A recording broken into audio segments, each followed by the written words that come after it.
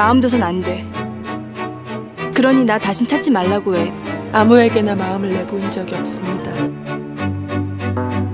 오직 내 음유를 알아봐주고 내 영혼을 알아봐줄 단 한 사람만을 애타게 기다려왔습니다.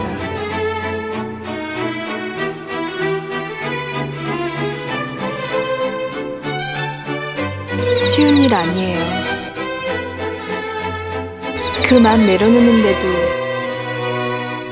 뭐라는 사람 없을 거예요. 부질없어. 기녀에게 정분이라니.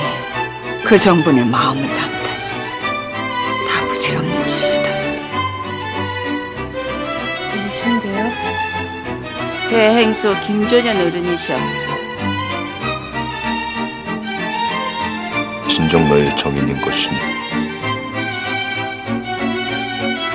어르신은 절대 알 수 없으실 것입니다. 예인의 가슴으로 느낄 수 있는 모든 것들을 어떻게 아실 수 있겠습니까? 좋은 사람하고 같이 있고 싶은 것을 어떻게 죄랄 수 있어? 천출은 왜 사랑을 음지해둬야 돼? 이제와 그런 게 다 무슨 소용이 있겠습니까? 어쩌면 세상이 우릴 봐줄지도 모르잖아.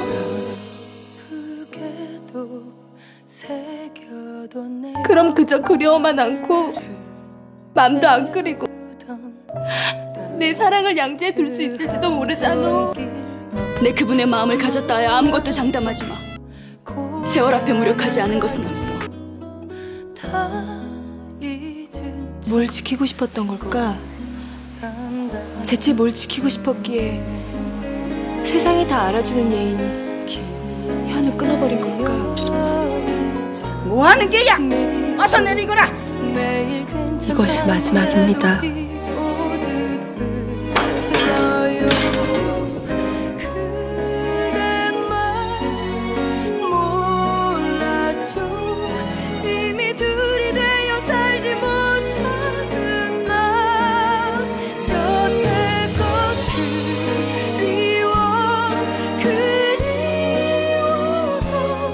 울고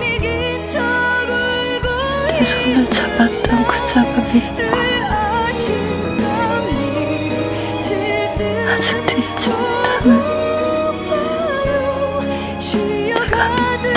정신줄 단단히 틀어쥐어.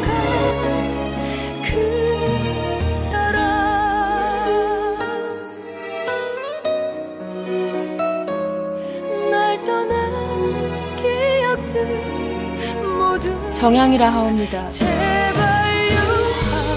미천한 제가